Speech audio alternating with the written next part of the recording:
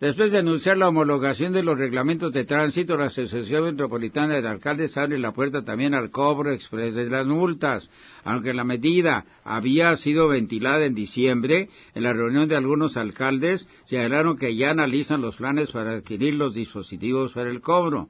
El alcalde Adrián de la Garza dijo que en el caso de Monterrey se adquirirán 300 aparatos, pero aún no tienen estimada la inversión. Está contemplado que Monterrey invierta en estos sistemas para poder aplicar las multas, cobro express de multas, eh, lo que viene siendo de tránsito y de algunas otras multas de dependencias municipales.